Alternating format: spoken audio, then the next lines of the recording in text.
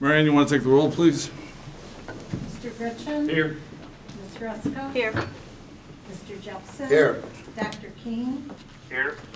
Mr. Walsh? Here. Mr. Welch? Here. Mr. Sinde? Here. I just want to let you know that per our board policy, John Keen, who was called into work uh, for emergency, is uh, on the phone line, and per policy and per state regs, he can do, uh, do that to participate in the vote. All right, at this time, we have visitor statements. Uh, The Board of Education welcomes and encourages the participation of its citizens in the business of the school district. Thank you for your attendance. Citizens are welcome to ask questions or make comments. Comments will be limited to three minutes. If a person would like additional time to address the board, such a request should be submitted in writing 48 hours before the meeting to the superintendent. For more details, please refer to Board Policy 2 colon 230, Public Participation at Board of Education Meetings and Petitions to the Board. At this time, do we have any uh, uh, speakers on this side? Anybody on this side? All right, on the agenda, it said uh, we would move to closed session. We are not going to do that. And so we are uh, in the process right now of uh, going to look and ratify, uh, take a vote on the contract. Um, Before we start on this, um, uh, I would like to make some comments and talk about the contract itself. So, on behalf of the Board of Education, I want to commend all of the participants in the negotiation process for their dedication, collaborative efforts in the finalizing of this agreement.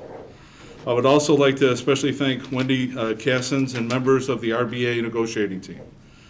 This is my fifth year being a school board member, and I have to admit that at times the relationship between the board and the RBA has not always been positive.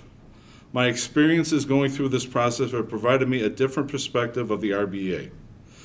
I truly believe that they are committed to the students of this high school and the community, and that they want what is best for the future of Riverside Brookfield High School. They showed this by working with the board to come up with a fair, equitable bargaining agreement. Now, let's talk about the agreement. The agreement uh, maintains the stature of our highly accomplished and respected teaching staff and employees, and sustains the board's budget and long-range financial goals. The agreement meets the following goals. It allows the board to maintain its commitment to building its operating fund balance. It includes cost containments and cost reduction measures in the district's employee health insurance plans and establishes a percentage contribution by employees toward health insurance pre- premiums without increasing the employee's cost for health insurance. Restructured, uh, we restructured the retirement incentive for teacher retirees, which eliminates all incentives for those teacher who retires, whose retirements result in a penalty for the district. Starting with the 2014-15 school year, several of the extracurricular stipend positions that were previously reduced due to budget cuts will be reinstated. The cap on the use of volunteers to assist with extracurricular programs will be dissolved. For the 2013-2014 school year, this allows teachers to advance a step on the old 2012-2013 salary schedule, but not, but does not otherwise increase teachers' compensation, and provides educational support personnel with a 3.5% increase in wages. For the 2014-15 school year, teachers will not receive an increase in compensation. The increase for the educational support uh, personnel employees is tied to the Consumer Price Index. For the 2015-2016 school year, teachers' compensation increases on the salary schedule will be tied to a percentage of CPI. The increase for educational support personnel is tied to CPI. Mr. Gryczan, would you like to summarize some of the financial impacts of this agreement? For the, for the three years, um, we, for, for the, the life of the contract, we anticipate that the cost, annual cost is under two percent a year for the district. Um, With the, with the teachers taking a hard freeze the second year, it helps significantly to keep these costs contained. Uh, With their willingness to um, look at some of the health insurance and negotiate some of the, be willing to take some concessions on some of the benefits in the health insurance, those two items help drive the overall cost of this contract pretty significantly, and we uh, thank the teachers for doing that. Okay, um, at, at this point, do I have a motion to approve this agreement? Gary, you want to do it, or Mike?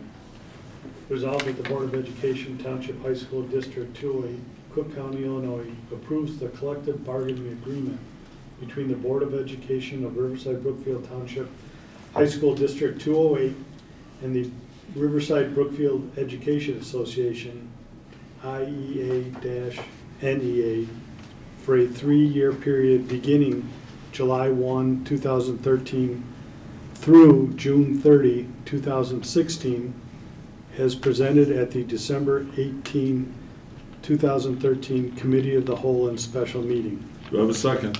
Second. Second by Tim Walsh. Any discussion? No, um, I'd like to make comment. Ms. Cassens, please, uh, share with your bargaining committee and teachers that, um, a thank you from a board member. Uh, it was outstanding professionalism. This is, uh, a job that hasn't been done in many years to go through the contract like that. And I recognize as a board member, as many of us do, that the teaching staff that has been here the longest have made some significant contributions to this contract. Um, and everybody had to work hard to come up with unique solutions for these economic times. And I just want to extend a thank you for the hard work that uh, the bargaining committee and all the teachers did to make this happen. Any other discussion? All right, seeing none, Mary Ann, can you please go for the vote? Mr. Gryczan? Yes. Ms. Hruska? Yes. Mr. Jepson? Yes. Dr. Keen? Yes. Mr. Walsh? Yes. Mr. Welch? Yes. Mr. Sinde? Yes. That is a unanimous, unanimous vote for the board approving this contract. So at this uh, uh, point of the meeting, we're going to go to adjournment, but at that time period, Wendy will come up and Wendy and me will sign the contract to make it in place and make the agreement final. So um, we thank you all for listening in tonight uh, for this uh, hearing. We look forward to be working with the RBEA and making sure that RB remains a very great school, both for the community and also for the students that attend us. So do I have a motion for adjournment? So moved. Moved by Mike Welch, do I have a Second. second? Second by Ed Jepson. Any discussion? Marianne. Ann? Ms. Hruska? Yes. Mr. Jepson? Yes. Dr. Keen? Yes. Mr. Walsh? Yes. Mr. Welch? Yes. Mr. Gryczan? Yes. Mr. Sinde? Yes. All right, thank you very much for coming tonight.